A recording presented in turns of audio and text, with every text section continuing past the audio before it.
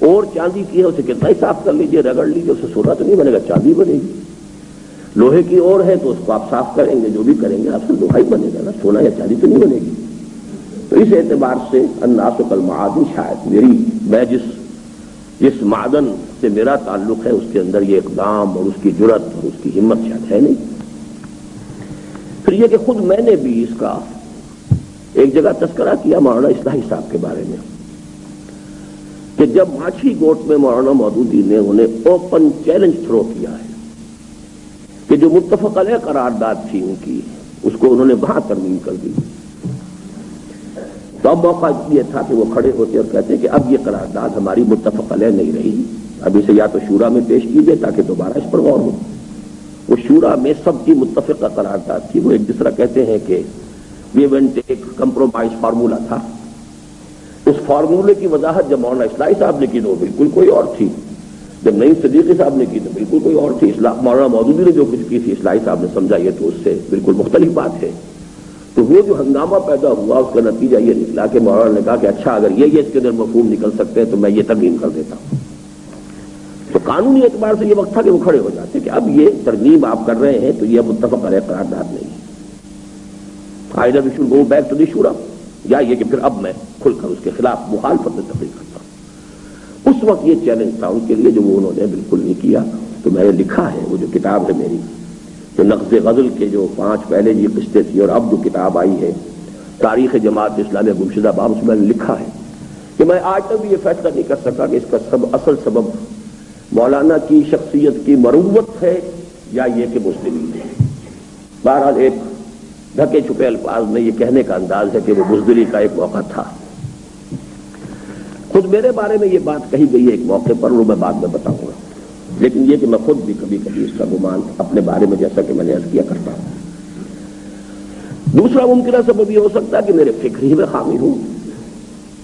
پہلے سبب کا بھی میں نے جیسا کہ کیا، وہ لا علاج برس ہے۔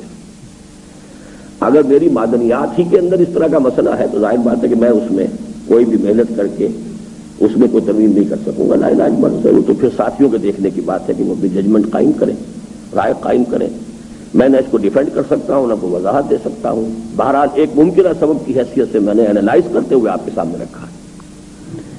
دوسرا یہ کہ میرے فکر میں کوئی خامی ہو، کمی ہو۔ یہ بھی ایک حد تک ہماری تنظیم میں لا علاج ہے۔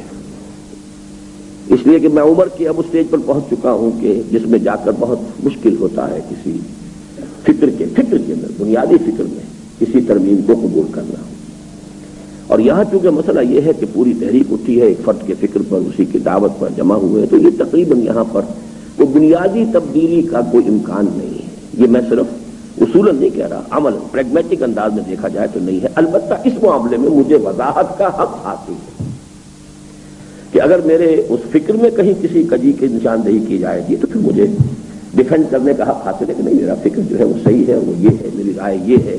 ان مقدمات پر مبنی ہے، یہ سبرا کبرا ہے، یہ میرے تجربات ہیں، یہ شواہد ہیں۔ وہ اسی وضاحت کی آج میں ایک کوشش کرنے لگا ہوں۔ لیکن ایک تیسرا سبب بھی ہوتا ہے جس کو میں اصل میں علیحدہ عنوان کے تحت بحث کروں گا، صرف نمبر تین تو ضرور نوٹ کر لیجیے کہ اگر کوئی شخص باہر سے غور کرے گا تو ایک سبب میری بزدلی، نمبر دو ہمارے بنیادی فکر میں کوئی تجیب نمبر تین ایک اور سبب بھی لیکن میں اسے دوسرے عنوان کے ساتھ لا رہا ہوں۔ اور وہ عنوان یہ ہے کہ اس اعتراض کی اس سے قبل میں نے بالعموم کیا وضاحت کی یہ چیزیں بزدری وغیرہ کے الفاظ تو میں نے ابھی کہے ہیں نا کہ آج کے کانٹیکس میں بات کر اس سے پہلے میں کیا کہتا رہا ہوں؟ میں اس سے پہلے جو بات کہتا رہا ہوں وہ یہ ہے کہ کسی قوم میں کسی انقلابی دعوت کے بارے میں اگر رد عمل نہ ہو یا بہت کم ہو مایوس کن ہو تو اس کے تین اسباب ہو سکتے ہیں۔ نمبر ایک یہ کہ قوم مر چکی جس کے لیے وہ انگریزی کا ایک ضرب المسل یا محاورہ میں استعمال کرتا رہا ہوں۔ سنو use whipping the dead horse گھوڑا مر چکا ہے، کتنے چابک لگائے جاؤ، کیا اثر ہوگا اس کو ساڑھے نو سو برس حضرت عمر، حضرت نو علیہ السلام دعوت دیتے رہے، کیا نظریہ نکلا؟ بہتر اپرادھ وہی میکسیمم بیان ہوتا ہے بہتر ایک گمان یہ بھی ہے اور میرا گمان یہ ہے کہ سوائے ان کے اپنے تین بیٹوں کے اور ان کے اہل خانہ کے اور کوئی نہیں تھا۔ یا ان کے وہ ہوں گے جو توابے ہوتے ہیں، جو کمی کاری ہوتے ہیں، بس اس کے سوا کوئی نہیں تھا۔ ماں امن ماہو اللہ قلیل تو قوم مر چکی تھی۔ ابھی وہ ساڑھے نو سو کیا، ساڑھے نو ہزار برس تک بھی دعوت دیتے رہتے، وہی کچھ ہوتا۔ اور یہ محاورہ بھی میں نے بتایا کہ کب میرے میرے علم میں پہلی مرتبہ جب آیا، میں چوک گیا تھا۔ یعنی علم میں تو تھا، لیکن یہ رینیو ہوا میری یادداشت میں، جس کے بعد سے میں نے اس کو کوٹ کرنا شروع کیا۔ کہ جب سن چوہتر میں یہاں ہو رہی تھی وہ سمٹ کانفرنس وہ بڑا ایک جوش و خروش پورے عالم اسلام کے تہتر تھا یا چوہتر تھا؟ تہتر؟ جی؟ سیونٹی فور میرے خیال میں۔ خیر چھوڑیے اسے کیا فرق پڑتا ہے۔ تو ہر تانگے پر، ہر رکشا پر واقع بحب اللہ جمین ہر کار پر بینرز پر۔ تو میں گیا ہوا تھا، یہ وقت میں جدید پریس میں کچھ ہماری تباہت کا کام۔ اور یہ وہ دور تھا جبکہ تباہت کے لیے تو خود جایا کرتا تھا پریسوں میں، یا خبر صحیح صاحب جایا کرتے تھے، یا ہم دونوں جایا کرتے تھے موٹر سائیکل پہ بیٹھ کے، ان کے اسکوٹر کے پیچھے۔ پر اس زمانے میں یہ صورت ہوئی کہ ایک صاحب وہاں ہوئے تھے آزاد کشمیر گورنمنٹ کے، اور وہاں کے وہ انچارج تھے پبلسٹی ڈپارٹمنٹ کے ابلاغ کمیونیکیشن دوارا کا۔ انہوں نے کہا، یہ کیا بکواس ہے؟ کیا یہ ایک محمل عبارت ہے؟ واقع سے وہ بحمد اللہ کہاں ہے وہ اللہ کون سی رسی ہے جسے پکڑ لیں۔ یہ تو محمل کلام ہے لغو یہ میں نے کئی مرتبہ پہلے بیان کیا، میں چوک گیا، چھٹک رہ گیا۔ ایک مسلمان آزاد کشمیر کی حکومت کا ذمہ دار فرد۔ اور یہ سردار عبد القیوم صاحب اس وقت بھی صدر تھے۔ این وہ چراغ کے نیچے وہ سایہ جو ہے۔ لیکن بہرحال یہ ایک بات آئی سامنے کے۔ ایک یہ کہ قوم مر چکی ہو دوسرے میں یہ بیان کرتا رہا ہوں کہ کوئی کوتا ہی یہ عمل و فکر ہو۔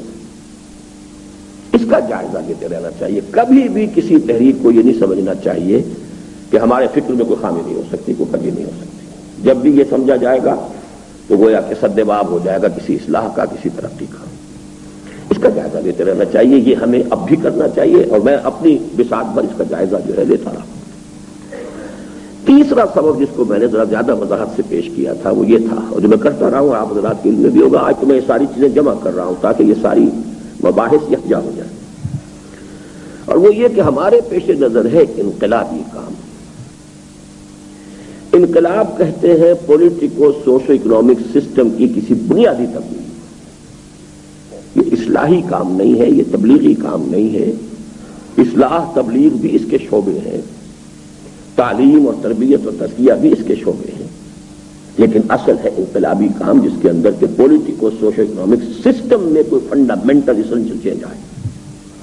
نمبر دو یہ کہ ہم اس میں انبیاء کا طریق اختیار کرنا چاہتے ہیں۔ یہ دو چیز ہے جو ہمارے ہاں متفق ہے آپ اس کو نوٹ کیجیے۔ کہ اول العزم من الرسول کا بھی اتنا براڈ سپیکٹرم ہمارے سامنے آتا ہے کہ ایک طرف کھڑے ہیں حضرت نو علیہ السلام ساڑھے نو سو برس اور کوئی نتیجہ نہیں۔ نتیجہ یہ نکلا نا کہ قوم ہلاک کر دی گئی۔ ان کا اپنا سگا بیٹا، سگا یا جو بھی تھا، بہرحال وہ بیٹا ان کی نگاہوں کے سامنے ڈوبا ہے۔ کوئی پورا واقعہ سورہ حد میں مذکور ہے، سورہ یونس میں شاید۔ سورہ حد بہرحال ایک انتہا پر تو ہے حضرت نو علیہ السلام، دوسری انتہا پر ہے محمد الرسول اللہ صلی اللہ علیہ وسلم۔ بیس برس میں ٹوٹل ریولیوشن۔ لیکن خود حضور کے بیس برس کو دو حصوں میں تقسیم کر دیجیے۔ تو پہلے دس برس میں بمشکل ڈیڑھ سو آدمی میکسیمم میں کہہ رہا ہوں، آدمی حضور کو ملے۔ نیکسٹ ٹین ایئرس میں ٹوٹل ریولیوشن آ گیا۔ اس کا مطلب کیا ہے؟ کہ ریولیوشنری پروسیس کی پروگرس کو آپ عام اصلاحی، تبلیغی مشنری سیاسی ان کاموں کی پروگرس پر قیاس نہیں کر سکتے۔ دے سم فنڈامنٹل ڈفرنس دس برس میں اتنا کام اور اگلے دس برس میں ٹوٹل ریولیوشن اس کا پھر میں نے جب بھی وضاحت کی ہے اور وہ فزکس کے اس حوالے سے، اصول کے حوالے سے لیٹنٹ ہیٹ فینومینل تو میں دیکھتا ہوں، جب بھی میں نے کبھی بیان کیا تو ایک دم چہرے روشن سے ہو جاتے ہیں۔ سائنس پڑھے ہوئے لوگوں کو تو فوراً بات سمجھ میں آیا کہ ایک حوالے سے۔ کہ برف ہے، اسے آپ گرمی پہنچا رہے ہیں۔ لیکن یہ ہے کہ اگر وہ مائنس پر کہیں تھا، اس کا ٹیمپریچر گرمی پہنچے گی، تو مائنس دس سے مائنس نائن، مائنس یہ تو بتا رہا ہے آپ کا تھرما میٹر کیا آ گیا ہے۔ لیکن زیرو پر آ کر وہ کھڑا ہو جائے۔ گا ہیٹ آپ کو دینی پڑے گی مزید، لیکن وہ تھرما میٹر شو نہیں کرے گا۔ اس لیے کہ اس سے پہلے وہ چینج اسینشل چینج نہیں تھی۔ برف ہی برف میں رہا، برف ہی برف میں رہا، صرف ٹیمپریچر بدلا ہے۔ اب برف پانی بننا ہے۔ یہ انقلاب ہے۔ اب اسی پانی کو آپ اور گرم کرتے رہیے۔ اگر آپ کے پاس کوئی ذریعہ کیلوریز دیں گے، آپ بالکل اس کو کیلکولیٹ کر سکتے ہیں کہ اتنے گرام پانی ہے، ہم نے اتنی کیلوریز دی ہیں، اتنا اس کے اوپر تھرمامیٹر جو ہے اس میں ٹیمپریچر بڑھ جانا چاہیے، وہی ہوگا۔ لیکن سو پر جا کر تھرمامیٹر شریف پھر کھڑے ہو جائیں گے۔ اب آپ کو بہت سی ہیٹ ایسی اندر دینی ہوگی کہ جس کو تھرمامیٹر جو ہے وہ بالکل شو نہیں کر سکتا۔ اب اسے اس کی اسٹیٹ چینج ہونی ہے فرام لکوڈ ٹو گیسز اب اس کی بات بننی ہے۔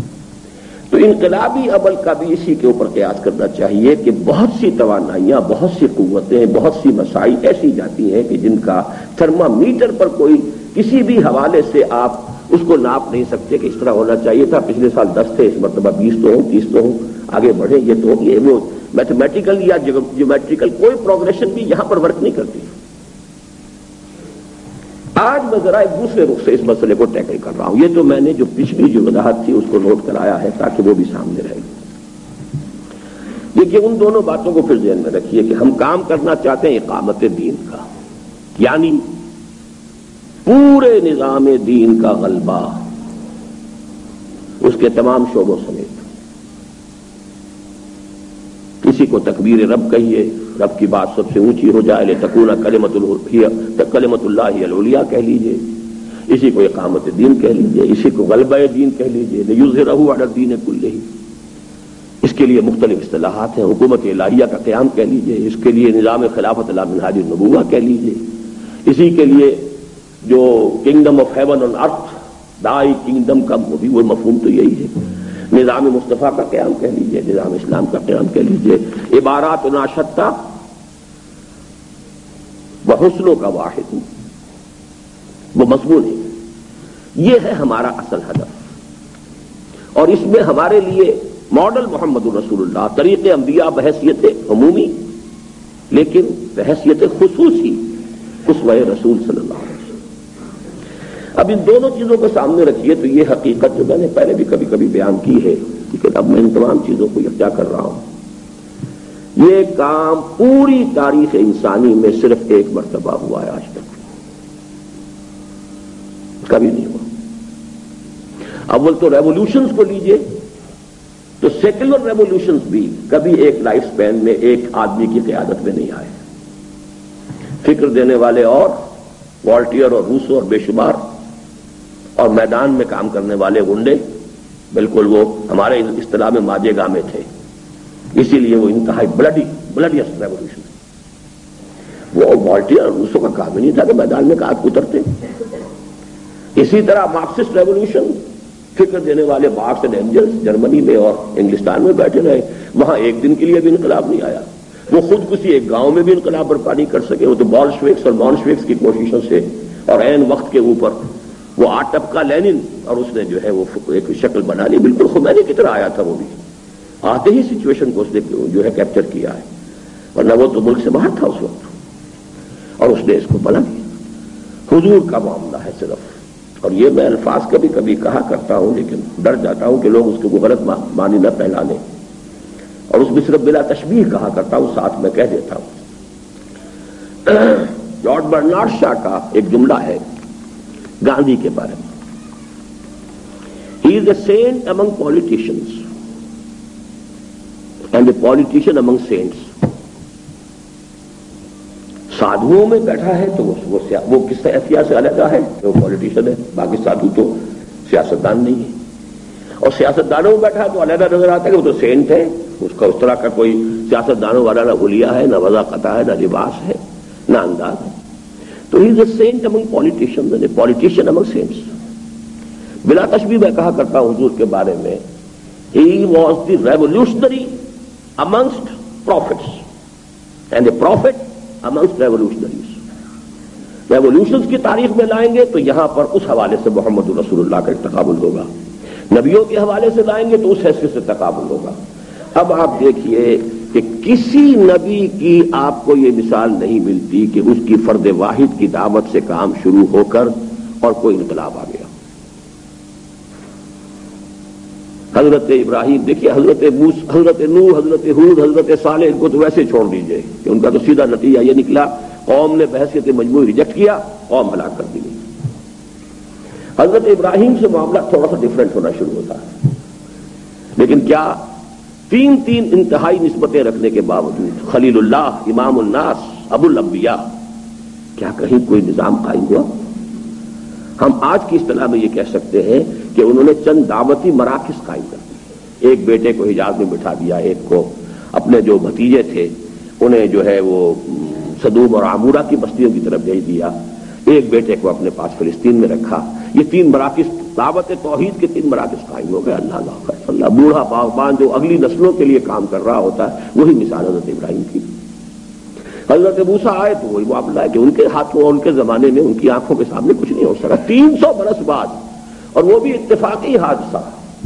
یہ نہیں کہ حضرت داود جو ہے وہ خود کوئی دعوت لے کر اٹھے ہوں، دعوت توبہ اور دعوت تجدید ایمان اور پھر تنظیم کی کچھ بھی نہیں۔ جنگ تو ہو رہی تھی، تالوت اور جالوت کی۔ وہ جب جالوت آیا ہے، ایسا لباس پہنے ہوئے کہ اس کے اندر کہیں اس کو اوپر وار کرنے کی جگہ ہی نہیں تھی، تلواریں بیکار نریزے بیکار، صرف آنکھ کے لیے دو فراق تھے، یہ آئے۔ لباس بھی جس پر پورا نہیں تھا، گڈریے تھے تھے طاقتور۔ ان کا گوپیا ہاتھ میں تھا۔